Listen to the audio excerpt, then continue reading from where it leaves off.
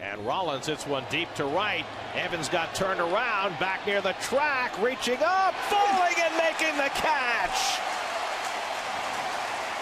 Nick Evans moved out to right field after Bay had to leave the game, makes the stumbling grab to keep the no-hit bid intact.